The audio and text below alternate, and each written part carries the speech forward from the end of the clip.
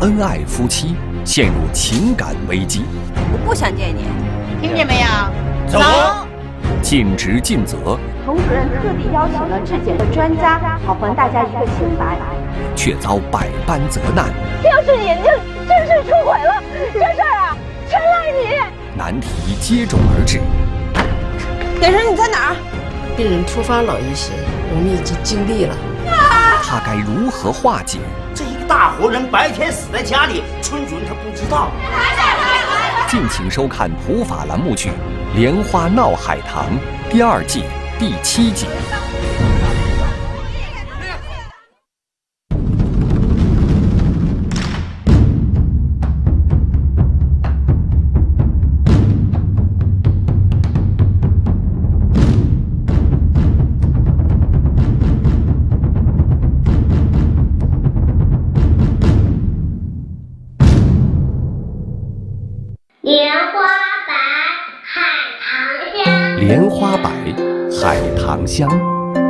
河畔鸳鸯忙。如果时间可以停在这一刻，该多好啊！连理结，愁难断，两家争闹儿女伤。爸，我该怎么办啊？情难了，事业伤，壮志难酬，独彷徨。看到你这么幸福，我是该放下了。恩怨事，误解消。齐心协力共患难，我黄大力不会再做辜负你的事儿。莲花依旧闹海棠，普法栏目剧十九集连续剧《莲花闹海棠》第二季。这个是你表嫂。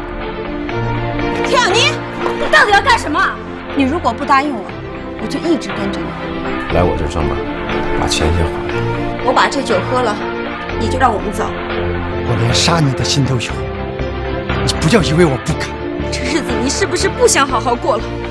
你心里装的是童心民。王德林，我是你的老婆。我们的鱼都准备好了，不要了。啊！你是不是喜欢小莲这样类型的？人家这个金龟婿，顾家心穿复仇。啊！你的吧！我已经年轻人都成。小莲在外面偷看着。海龙，你可回来了！呀，我杜小莲清清白白，从来没有做过对不起海龙的事情。你先回去吧啊！我跟你嫂子呀，还有话要说。看普法故事，品百味人生。这里是普法栏目剧，我是主持人王小磊。我们给您继续讲述的是《莲花闹海棠》第七集的故事。我们前面说到了，有个叫杨洋的小伙子啊，对自己的这个表嫂杜小莲啊，一直是很喜欢他。现如今呢，这个表哥李海龙回到家了，那么。现在人家两口子甜甜蜜蜜的生活在一起，洋洋呢看在眼里，心里不是滋味但是最起码他知道不能影响别人的生活，所以他对于小莲的这种情感又该怎么办呢？李海龙虽说是第一次见到这个表弟杨洋，可是洋洋对小莲的那一份好感，他似乎也有所察觉。而且呢，洋洋送给小莲的新手机，那更是让海龙是心生醋意啊。所以，海龙跟小莲夫妻俩因此发生了矛盾，小莲负气离开。洋洋的出现可以说是给海龙和小莲的情感带来了不小的冲击。那么，海龙和小莲能不能化解这样的矛盾，重归于好呢？李杜两家现在矛盾是越来越深，好像稍微再有点什么事儿，就要爆发出更大的危机。而另外一边呢？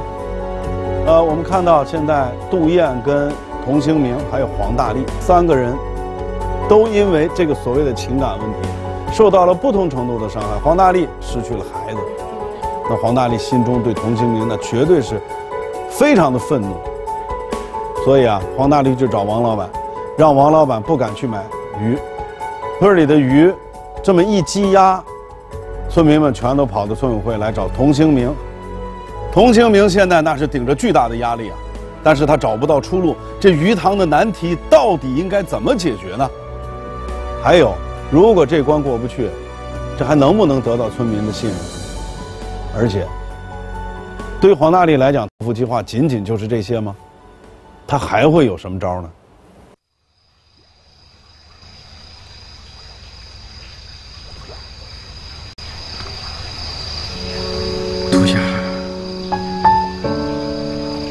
就不明白我的心意？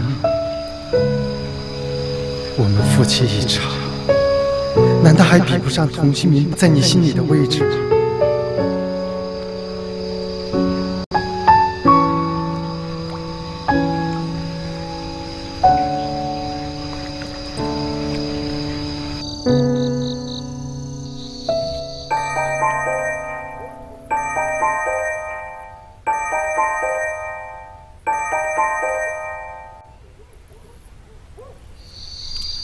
燕儿，有事啊？你还问我？你不知道，小莲哭得多伤心。哎，也这样，我先过来再说啊。哎，李海郎，你知道这些日子小莲为你做的吗？她一个姑娘家去城里去求田小英，这也就罢了。她在你们家没少受委屈，就因为那些谣言，你就怀疑他，你对得起他吗？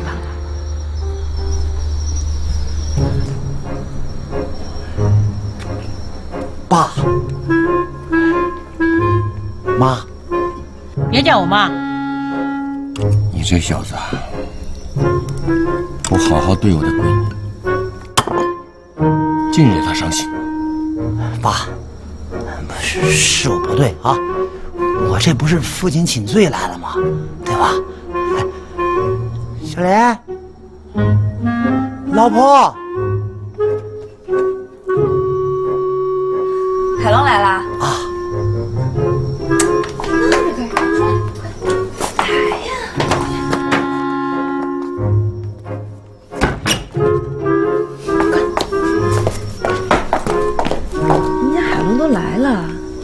心里有想说的话就说出来，别憋着啊。对有什么话就说出来，别憋在心里边，憋坏了我心疼。你来干嘛呀？我不想见你。听见没有？走我让他受委屈了，这是我不对，是我不对啊！我保我保证，我以后再也不会了。盼星星盼月亮，把人盼来了，人家话也说到这个份上，还不跟人回去啊？去去，快，你起来呀，去吧。小莲哪儿也不去，就在家里待着。妈，小莲好歹是结了婚的人，老往娘家跑算怎么回事呀？不听妈的话，别哭着回来找我。妈，哎，妈，哎，你不吃啊？我不吃了，气都气饱了。妈，你们两个还不赶紧走？对对对呀，啊，爸，我走了啊。走了，走了吧，哎，走了。妈，哎，哟，嗨，王小莲回来了，又回来了啊！正好吃饭呢呀。回来了，好，姨婆，小娟儿。啊，快去放后边噻。好嘞，哎，姨婆，放什么鞭炮啊？没必要吧？要放，去歇去。快吃饭，四娟儿。好，放放放放放放。姨婆，吃饭来，好好，来，吃饭吃饭，快坐吧。哟，妈，那么多菜呢啊！来，走走走，来来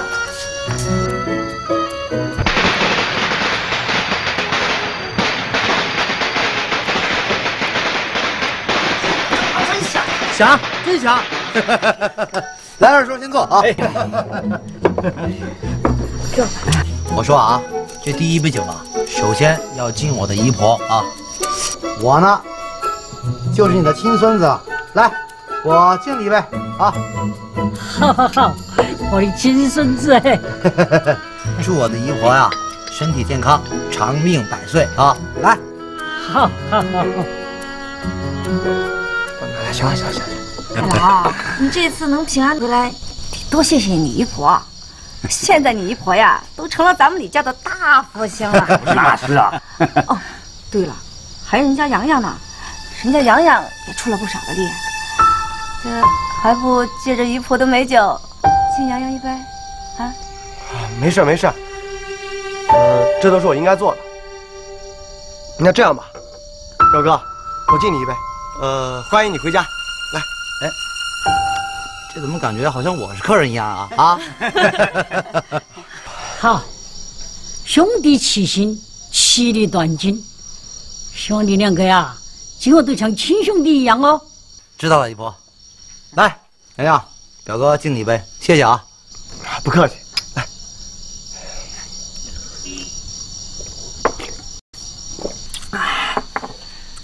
其实啊，我觉得呀，最应该感谢的还是我的媳妇儿啊。媳妇儿，这段时间受委屈了啊。谁让我是你老婆呢？锅里还有个汤，我去看一下。哎，妈，我帮你。哎哎哎，你去干嘛呀？你陪我坐。哎，海龙，你是不知道，你没在这段时间，你那个媳妇儿三天两头的往娘家跑，你妈为了去接她，没有少受你那丈母娘的气呀。以后你对你妈好点儿，这媳妇儿该管还得管。是啊，海龙，我都替你妈委屈。杨慧芬那个话呀，是不当好听，但是话糙理端。哪有媳妇儿动不动都朝娘屋跑啊？那个成啥子话？媳妇儿结了吗，都是要勤快噻，哪有让婆子妈受气的道理？姨婆，你是不是了解小莲？小莲这个丫头啊，其实特别善良，特别孝顺，真的挺好的。太好了。走，来来来，放这儿，放这儿，放这儿啊。哎，那个老婆啊，去给姨婆还有洋洋盛上饭去啊。哎，小莲，不用了，我自己压吧。哎哎哎，什么小莲小莲的那个？哦，呃，表嫂。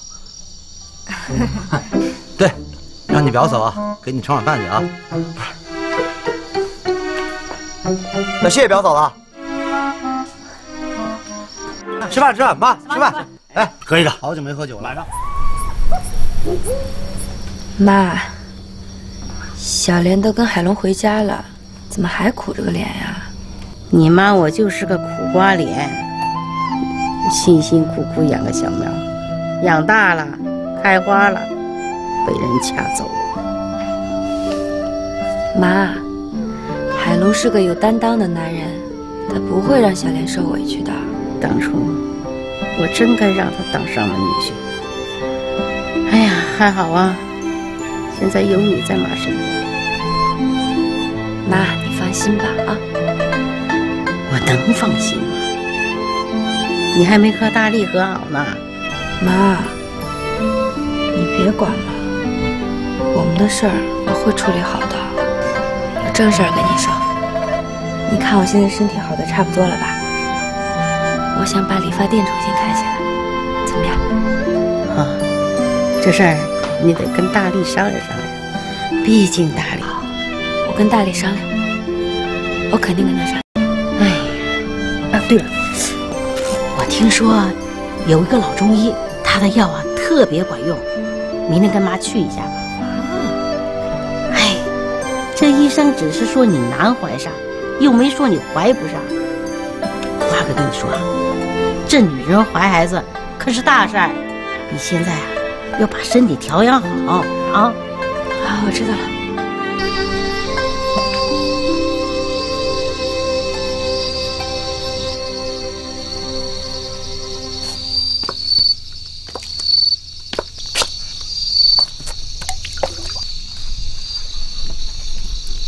洋洋，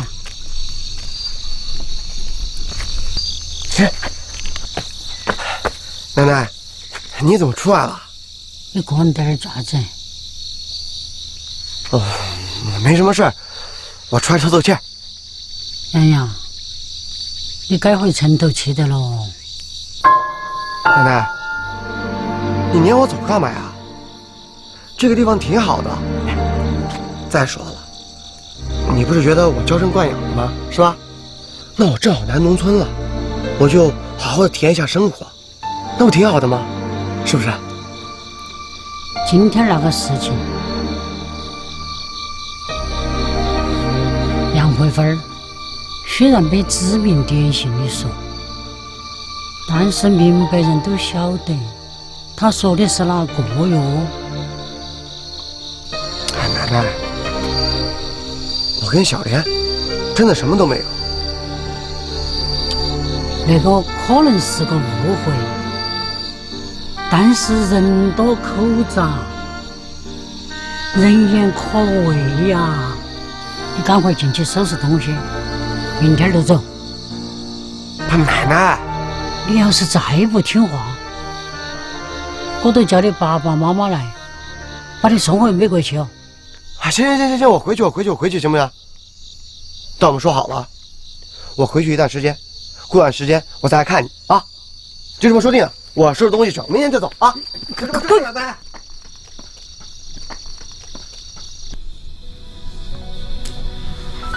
老婆，你看你，都瘦的让人心疼了都。能不瘦吗？生怕你回不来，我都担心死了。怎么会呀？我这不回来了吗？你都不知道，你不在的日子。发生了好多事情，哎，是老公不好啊，让你受了委屈了。我要早知道田老板是那样的人啊，我绝对不会跟他干的。你说我也是啊，那么聪明一个人，怎么就让他给骗了呀？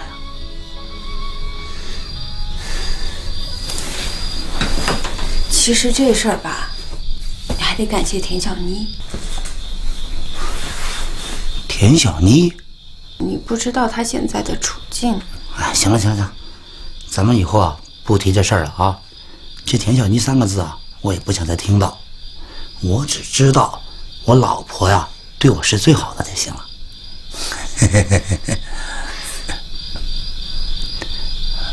老婆，嗯，要不咱们睡了吧？嘿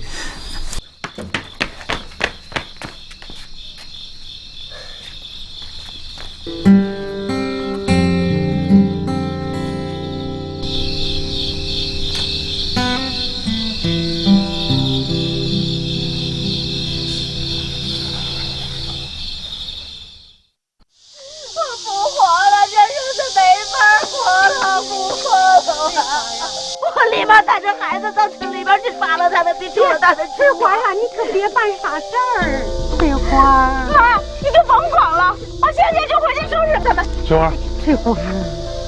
孩子那么小，你带着孩子进城抓奸，这怎么回事啊？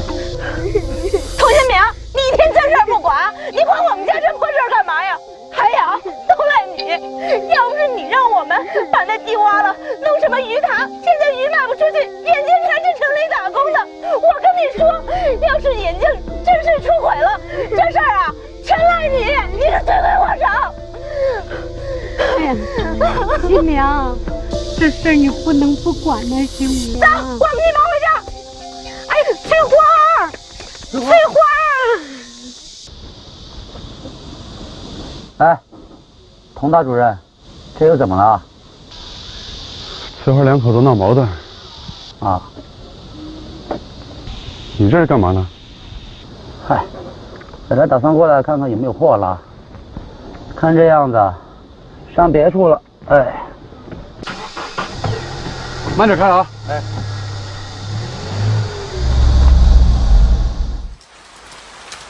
我们已经找好别的师傅了。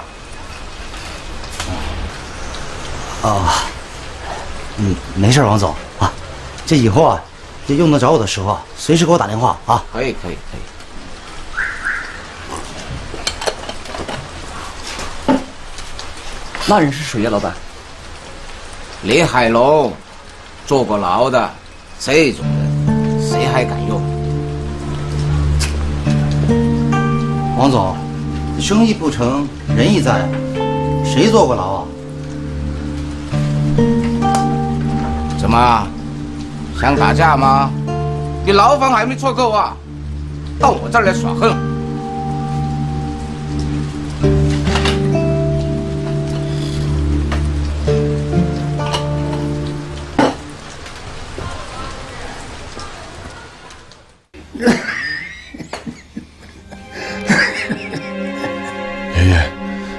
听我的话，咱们上医院看看吧。鱼塘的事还没找到解决的办法。本来之前跟王老板说好了，他会帮我们解决一部分。可后来，不知道他听了什么谣言，到现在也不接我电话了。那你有没有另外的打算呢？该想的办法都想过了。熊婆婆倒是说，可以帮我们解决鱼的销路问题，但她的条件是，要拆掉杜家的牌坊。我总不能为了鱼塘的事儿，答应她的条件吧？现在，只能走一步算一步了。新闻啊，其实起风了。爷爷，把被子盖好了，千万别着凉。早点睡吧，我替您把门关好。行，行。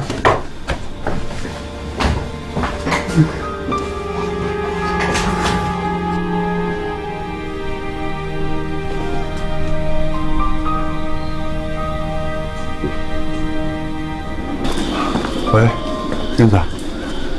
没睡吧？啊，没呢。怎么了？我想了一下，就算王老板买了我们三千斤鱼，其实也解决不了鱼塘的问题。更何况，听王老板的意思，是说我们的鱼有问题，可这明明就是在冤枉我们啊！咱们的鱼当然没问题，可是只有咱们自己知道。关键啊，现在不知道是谁造的谣。现在追究谁造的谣也没什么意义了。我倒是有个办法。你说。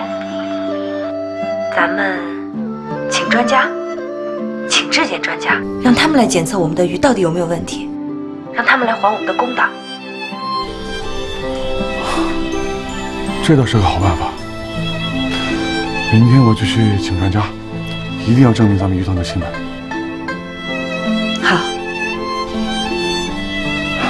燕子，谢谢你。你干嘛这么客气呀？我也是为我们自己家的鱼塘担心呐。啊，对了，那个，你跟大力……嗯，没有。我们我们挺好的。那个，你早点休息吧。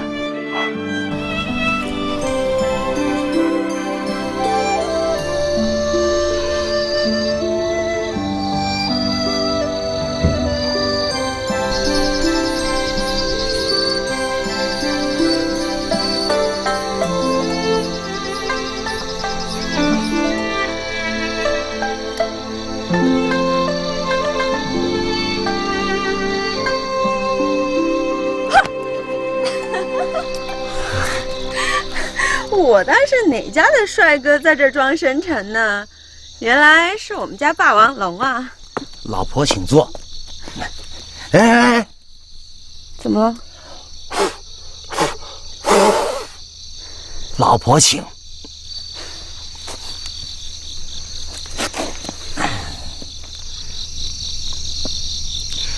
你今天找活儿找的怎么样了？挺好的呀，挺好。嘿，嗯，不过有些活儿被人给抢了。嘿嘿，哎，这要放到以前啊啊，我李海龙是挑活儿干的，知道吗？啊，嗨，这活儿多的是，不愁，没关系。得了吧你！你要是真的找不到活干，你老婆我养你呗。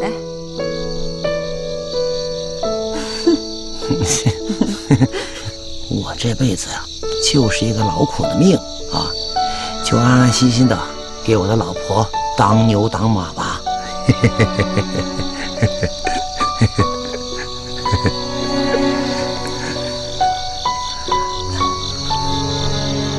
别给自己那么大的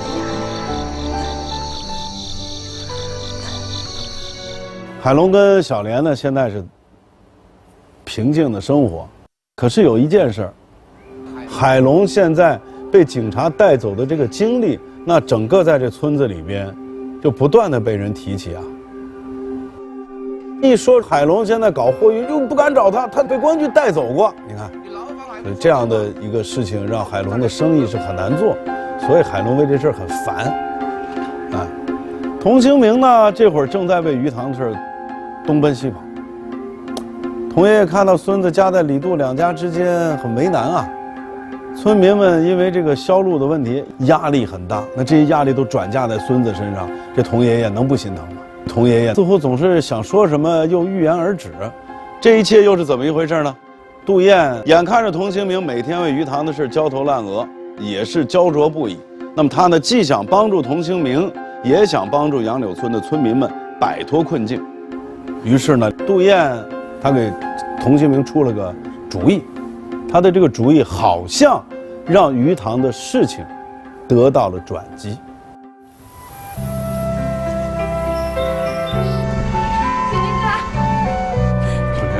我来报道上班了。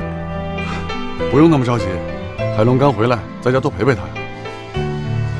我都请了这么久的假了，啊，再说了，李干事那篇南方的普通话呀，怕是村民们也已经听够了？吧？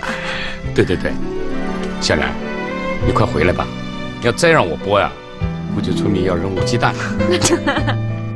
啊，对了，小莲，呃，今天城里的专家要到咱们村来，对咱们的鱼塘进行抽检，你去广播一下，让养鱼户们做好准备。要来检查？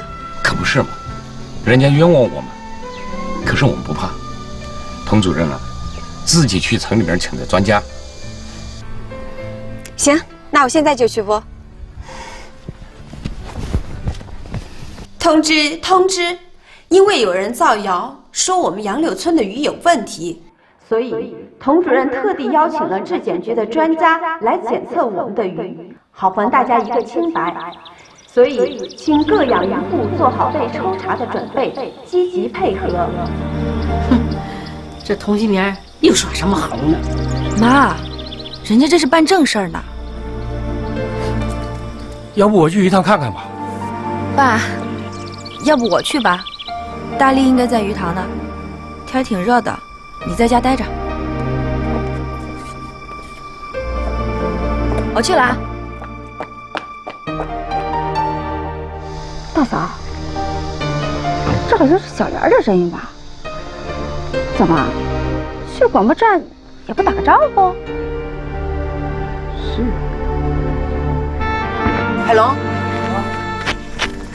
海龙，小莲去广播站，怎么我都不知道啊？哦，他跟我说了，妈，你儿媳妇的声音好听吧？光跟你说有什么呀？婆婆呢？婆婆怎么不打招呼呀？一点规矩都不懂。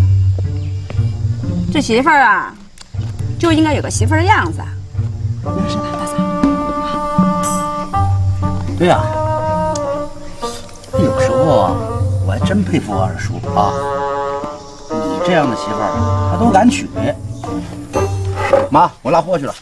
海龙，路上注意安全，小心一点啊！这两口子一个德行。最近我们也接到了举报电话，说附近镇上啊，鱼市的鱼价很混乱了。来之前也接到了上级的通知，质检完你们杨柳村了，我们还要去检查别的村了。可真是太辛苦你们了。没事，那开始吧，我们。啊，行。呃，这两块鱼塘都是杜家的，杜家呢也是我们杨柳村那个养鱼大户。呃，塘里边主要喂的是鲫鱼，还有草鱼。这是他们鱼房，过去看看吧。好，请。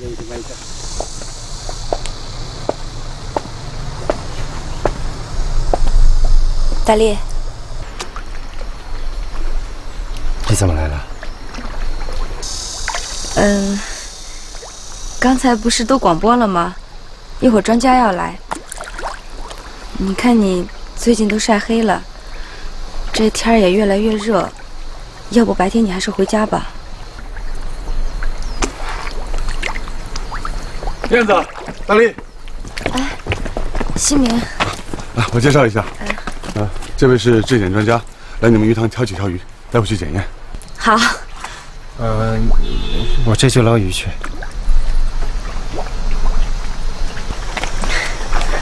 这下可好了，等咱们的检测结果一出来，看他们还有什么话说。那个各位专家，天挺热的，里面先休息会儿吧。这边不用了，不用了，我们随便看看。看看。辛苦你们了。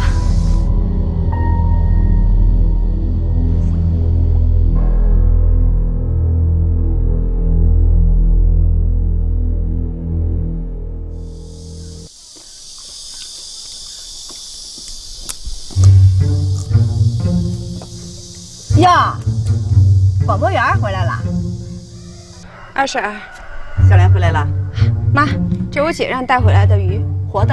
哎哎哎哎哎，我看是别吃了，这等检查报告出来再吃，免得待会儿吃了全家都那。你怎么也不跟我们商量一下就回广播站了呀？我今天只是去村委会报个到，还没有正式上班呢。报到还不叫上班啊？是啊，这是我的工作，本来就是因为海龙的事儿请的假，现在海龙回来了，不然就应该回去上班了。小莲，我看你还是别回什么广播站了。这女人结了婚以后啊，就应该以家庭为重，你说是不是？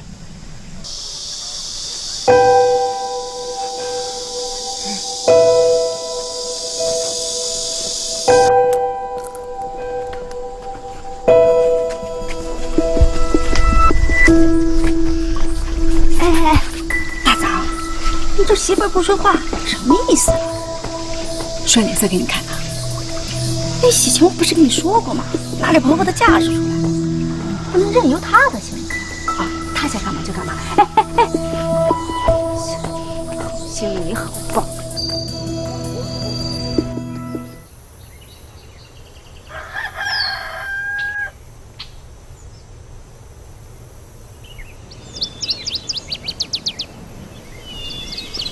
真的，全部合格。太好了，我就知道我们的鱼肯定没问题。还有啊，其他邻村的鱼塘我们也都自检过了，结果非常的恶劣，很快那些鱼塘就要被查封了。董主任，困难只是一时的，恐怕接下来你们杨柳村的订单都要接不过来了。好，好，好，好，哎呀，真是太感谢你们了，谢谢，谢谢。哎，好嘞，再见。怎么样？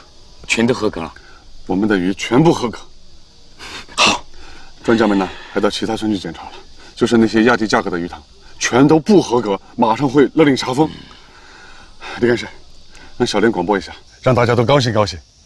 好消息，好消息！质检结果出来了，咱们杨柳村的鱼全部合格。海河村的鱼塘都被查出了问题，将统统被查封。咱们杨柳村的鱼塘又一次迎来了新的春天。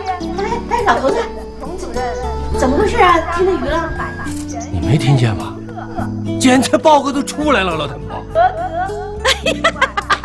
我就说嘛，这鱼没问题。哎呀。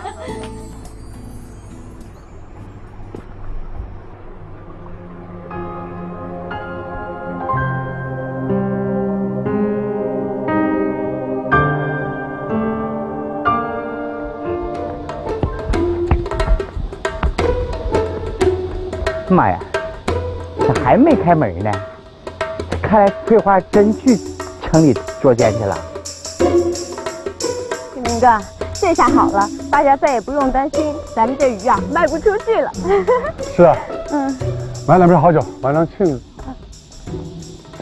哎兄，哎呀，这万一丢点东西可咋整？说什么。哎哎，干什么呢，王主任？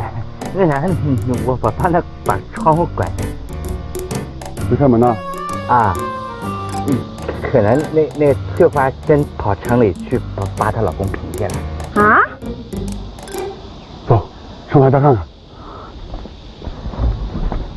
哎哎，等我一会儿，我也去。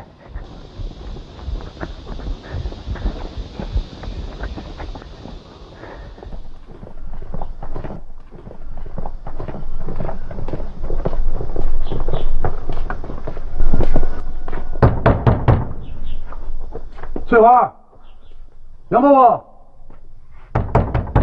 开门呐！我是童兴明。哎呀，你你快来看看，那是不是杨婆婆？对，是杨婆婆。杨婆婆，翠花，杨婆婆，杨婆婆，翠花，来来，我我把她抓开。杨婆婆，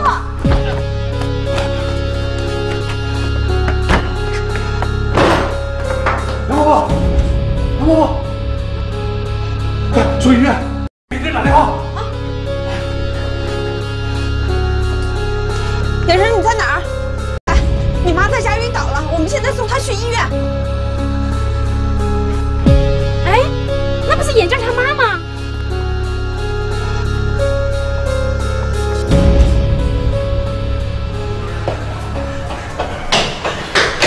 童主任，我妈现现在她怎么样？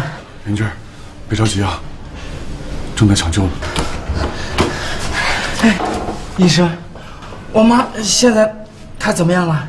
病人突发脑溢血，我们已经尽力了，对不起。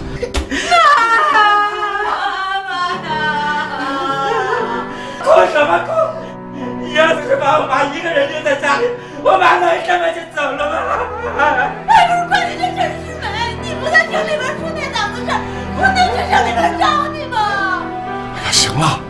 都什么时候了，你们还吵？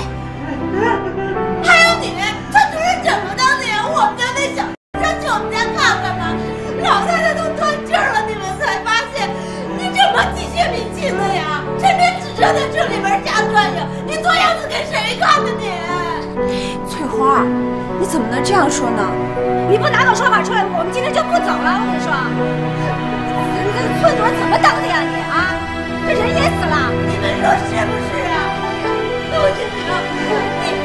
我这个说吧，这事儿啊我不能这么算了，我妈不能这么白白没了呀。今天这个事情干得漂亮。我其实就是怕他们打抱不平而已。打什么抱不平啊？这事压根儿跟新民没关系。我对呀、这事儿怎么能怪在新民哥头上呢？怎么不怪他呀？客观分析的话，那就是童新民的错。我都不信那回搬不到那个童新民。哎。姨妈，您的意思是？没错，新民哥一直都是一个很好的村主任，他处处都为别人着想。小莲儿，你是李家的媳妇儿，那个事情你都不要插手。这事儿，这事儿真不能这样干。我老太婆都还认那个死女儿了。吃饭，吃饭，吃饭。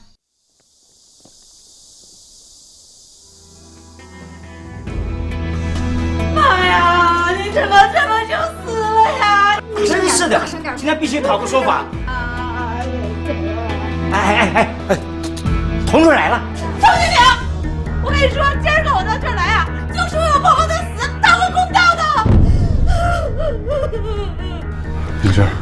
翠花，你们还是赶紧把杨伯伯安葬了吧，这样他全校有知，也会心安的。我看呐，是杨婆婆不下葬，你不心安。姨妈，你好歹也是我们这个村里的长辈了，你一定要为翠花他们一家讨个公道。如果你不自动辞职的话，我们大家都联名上书。哎，对，联名上书，这一大活人白天死在家里，村主任他不知道。哎，你说这么一个没有担当、不负责任的人任咱们村主任，不是把咱们杨柳村推向火坑吗？大家伙说是不是？必须得下台！下台！下台！下台！你们都别吵了，让我们的老村长说两句。哎呀，你怎么来了？洪康贵，难不成你要来为你的孙子说情吗？兄儿妹，个能够去为难性命嘛？你也是当个村长的，你命好，出身好，我只能说上梁不正，下梁歪。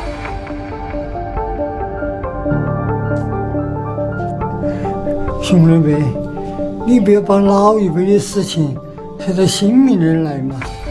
新民是个好娃儿啊，只是娃儿还年轻，有些事情没有做到方方面面，还要请大家宽容宽容啊！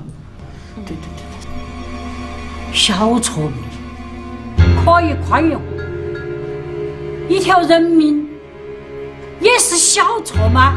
是啊，你说说人都死了，他是小事吗？就是同性恋啊，必须得下台，换人。下台！下台！下台！下台！你非要那个吗？洪康贵，你说我针对同性恋，我也无话可说。哎，但是你倒说说看，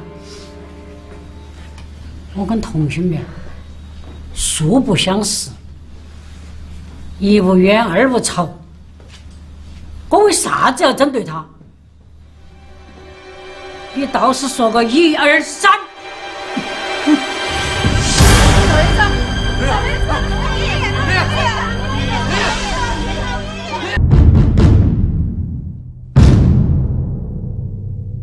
大姐，来两个饼。加蛋加肠上啊！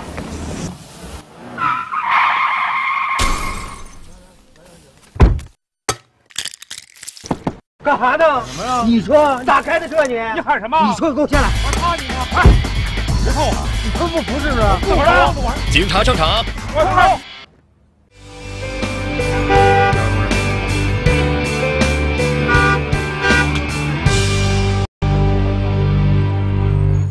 鱼塘的事儿总算是告一段落。杜燕呢也是出谋划策，又一次帮助童庆明度过了难关。但是其实童兴明现在眼前面临着更大的难题。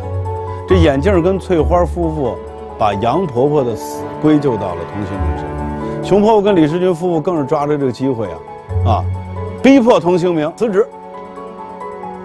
这是又一场新的危机。面对翠花的指责和李世军夫妇的逼迫，这童兴明本来就不善言辞，这次他该怎么办？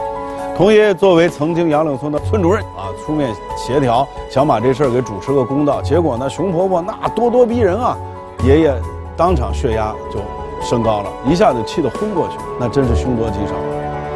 熊婆婆为何要如此针对童家人？这熊婆婆跟童爷爷之间，难道还有着什么恩怨过往？另外呢，小莲回到广播站上班这个事儿，让李家人是颇有微词。虽然说她婆婆王开碧现在表面上不动声色，但是在杨慧芬多次的搅和之下，她心里边对小莲有了看法了。他们的婆媳关系又会如何发展呢？下集咱们接着说。看普法故事，品百味人生，我是王小磊，咱们下期见。